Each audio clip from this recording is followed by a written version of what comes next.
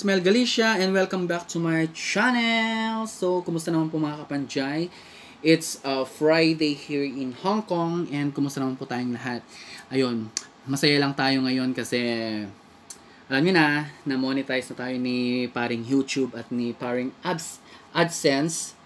So, yun, first of all, um, um, gusto ko lang po magpasalamat kay Sid, kay Bro Sid, ang aking friend sa Sunday Group sa kanyang uh, mega parapol ng Mark uh, Lotto Mark 6. Uh, nanalo po tayo ng ayan, laptop. Ayan. Ayan. So congrats naman po sa atin at tayo po ay napalad na uh, nanalo ng isang brand new laptop. Ayan. Ganda-ganda naman. Ayan. So may gagamitin na tayo guys for LS natin. So, thank you, thank you, Bro Sid, sa uh, parapol ni Mayor. So, yun na nga guys. Paano nga ba tayo na monetize in just, sorry, in just 2 to 3 months? Actually, pag na-monetize ka, ang hirap. Hindi pala ganun kadali ang experience or uh, pagdadaanan mo bilang isang YouTuber. But, I don't like to discourage yung mga mga YouTubers, pero may mga ways o paraan kung paano tayo madaling ma-monetize. At ito na nga po, uh, isi-share ko na po sa inyong lahat. Thank you. Please just continue to watch. Ayan. Hi everyone. Yes, I'm back. I'm back, Vakla. Ayun, sobrang saya lang po talaga ng pakiramdam. As in, hindi pa nagsisink in sa akin. Um, almost 3 to 4 days na po tayong na-monetize at yun na nga po ay nag-uumpisa ng umaakyat ang metro ni Berdeng Dolyares sa ating YouTube. Kasi nga po, monetize na po tayo. Ano po bang ibig sabihin ng monetize? Ibig pong sabihin, um, na-reach mo yung requirements ni paring YouTube at ni AdSense, which is, number one, yung 1,000 uh, subscribers and 4,000 watch hours.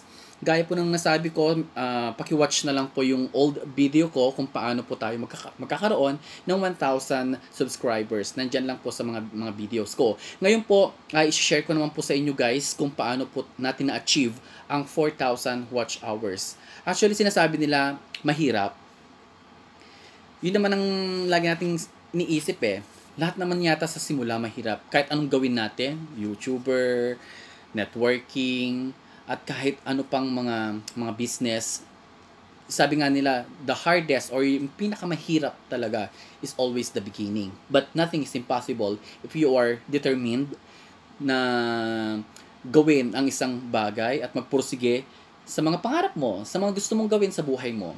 Well guys, paano nga po ba tayo naka, na, na-achieve ang 4,000 watch hours? Kasi kung isipin po natin yung 4,000 watch hours, ang dami nun hindi po natin makakayang gawin in just couple of 2, 3 months of or 4 months, lalo hindi naman po tayo ganun kasikat na YouTuber, small YouTuber lang naman po tayo, pero marami pong paraan. Okay, share ko lang po sa inyo yung mga napagdaanan ko and I hope makatulong po sa inyo guys. So, number one tip guys, um, watch to watch. Watch to watch. Yun po. Ibig po sabihin, marami po tayong mga group chat dito sa, marami po tayong mga group chat sa mga YouTubers. I have uh, more than uh, 20 uh, group chat po para sa mga watch to watch. Ibig sabihin po, um, manually, may pag-watch to watch po tayo sa kanila. May mga tao po doon na pwede po nating kausapin mga YouTubers din po na naghahangad na maka maka-reach ng 4,000 subs uh, 4,000 watch hours na kung saan ay yun po ang gagawin, uh, mag-watch to watch po tayo manually. So, depende po sa napag-usapan kung ilang oras, but mostly siguro mga 4 to 6 hours ang watch to watch. So, ang gagawin mo ay gagawa ka ng playlist. So, yun ang ipapasa mo sa kanila. So, paano mag-work yon Um, ipapasa mo sa kanya yung playlist mo uh, na mayroong 4 to 6 hours tapos yun ang papanoorin nila. And at the same uh, same thing din, ganoon din po ang gagawin nila para sa iyo. i-watch mo din 4 to 6 hours din. Depende kung ilang oras po yung pinag-usapan ninyong papanoorin. Tapos, si-screenshot nyo lang na nanood kayo. So, walang dayaan po doon. I-clear nyo yung history, watch history, ganyan. So, wala pong magaganap na dayaan. So, makikita po kung ilang oras po yung napanood ninyo. So, yon Medyo malabo ba? Kayo na lang mag-adjust. Charot. So, yon Watch to watch. Uh, marami po tayong mga uh, group chat na pwedeng makatulong po sa atin. Mga small YouTubers po para sa ating watch to watch. So number two, by sharing our videos. I have more than 122. I have more than 122 group pages po. And luckily, um, sa 122 uh, group pages po, halos lahat po yun everyday. As in, everyday po, kung masipag ko talaga, mag-share at mag-share ka po ng mga videos mo. Kung maganda yung mga content ng videos mo, uulit-ulitin po nila o papanoorin po nila ibang mga videos mo. Katulad po halimbawa sa akin, meron po ako mga group page dito sa Hong Kong, uh, HKC, Hong Kong Connect, ang uh, Samahang Ilocano, uh, OFW Hong Kong, Hong Kong Drivers Association, uh, Samahang Ilocanja Worldwide, Samahang, even yung mga OFW Saudi Group, um, maraming marami, Paniki Group, hindi ko maalala yung mga iba, halos lahat, basta lahat ng group, mag-share ka po, mag-share ka lang ng mga videos mo. At yung mga videos na yon ay pag napanood nila, uh, ma-accumulate or mag-iipon-ipon po yung mga watch hours po noon. At saka pag talagang maganda po yung mga content natin, uulit-ulitin po yan, papanoorin po yan, isi-share po nila. So, napaka-importante po talaga na magkaroon po tayo ng magandang uh, content ng ating video para po magka- magka-interest yung mga nanonood natin o viewers natin.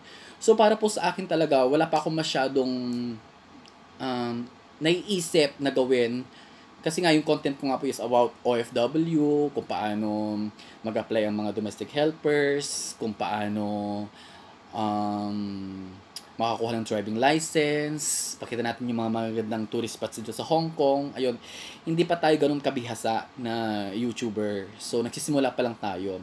So, hope, hoping na marami pa tayong pwedeng ma-share in the future. So, pangalawa, pangalawa po yon Number one is watch to watch po. Then, number two is uh, sharing videos sa lahat ng mga group page mo. As many as uh, group page po. Kung mas maganda maka, um, may group page kang may get 100 tapos i-share mo doon. Yun lang, permission to post, please uh, share, subscribe my YouTube channel, blah blah blah. Ganun lang po. It honestly guys, it works. It works po. Talagang um, isa sa mga paraan yun para makakuha po tayo ng watch hours. And then number three, number three po na technique na ginawa ko, yung paggawa ko ng playlist po. Kasi meron akong uh, dalawang extra phone medyo mga lumang phones na yung mga yan. So, yung mga playlist po na ginagawa ko, wina-watch ko. Bago po ako matulog, wina-watch ko po. Naka-play lang po yan. Naka, naka-dim po yung light para hindi po masyadong, ano, mag-init naman po yung ano natin. Mag-init yung cellphone natin. So, yun, pangatlo po, gumagawa po ako ng playlist. Isend ko po sa mga kamag-anak ko, isend ko po sa pamilya ko. Tapos sa cellphone ko, papanoorin ko po, ulit-ulitin ko sa cellphone ko. And it works um, mahirap paniwalaan, pero yes guys, uh, gaya ng sabi ko, it works po. So, yon I have three techniques or paraan kung paano po tayo maka 4,000 uh, watch hours which is number one, watch to watch through uh, group chat. Yung mga kaibigan po natin yung group chat, may mga group page din po ng mga nag uh, aalok ng nag-aalok para nagbebenta lang.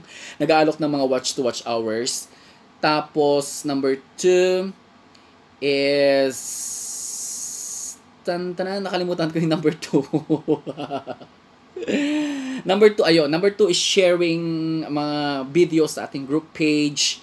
And number three, yun nga po yung mga playlist po. Uh, i-play po natin sa ibang mga cellphones natin. Ibigay natin sa mga kamag-anak natin at ibang mga uh, ano natin mga kaibigan at pamilya natin. So guys, sana makatulong yung konting techniques o paraan ko kung paano ko na-achieve yung 4,000 uh, watch hours. Guys, wala pong imposible kung ikaw ay determinado na gawin ang isang bagay. Gaya nga ng sabi ko, mahirap pong gawin sa una. Parang susuko ka na, parang iniisip mo na parang ano kayang gagawin kong content? Ano kayang gagawin kong videos? Ano kayang patok sa ating mga sa ating mga viewers, ganyan. So, in time, syempre, uh, makikilala rin tayo. So, for the meantime, so, gawin lang natin, gawin lang natin ang ang YouTuber as ano lang, parang hobbies lang natin. Huwag nating hobby, or hobby natin na huwag nating isipin na, oh, dito tayo kikita, o dito tayo magkakaroon ng maraming pera. Kasi pag iniisip po kasi natin yon mas mas may pressure po tayo na ay, paano kaya gawin ang 1,000 subscribers? Paano kaya ang 4,000 watch hours? Ayun. So, yung ibang mga kaibigan ko, ang ginagawa pa kasi nila um, sa watch hours nila through LS o yung mga live streaming po nila. So, okay din po yon Panghatak din po ng ano, pangingisda nga po ang tawag nila. Pangingisda nga po ang tawag nila na para makahatak po ng mga ano mga viewers ng mga subscribers and most importantly yung watch hours. Kasi pag nag-direct po tayo sa uh, sa YouTube live uh, pag nanonood po pag may viewer po tayo na at least 1 hour po siya nanood times 5 po yung watch hours po niya. Yon so imagine if you have uh, 100 viewers so times 5 100 viewers times 5 automatic po 500 watch hours na po yon ganun po kabilis. So guys I hope na nag-enjoy po tayong lahat at nag-enjoy? Nag-enjoy ba? O may natutunan rather sa mga shinare ko po sa inyo. Please um, do subscribe my channel and please support me. And I hope na yun nga maging sikat din tayo in the future.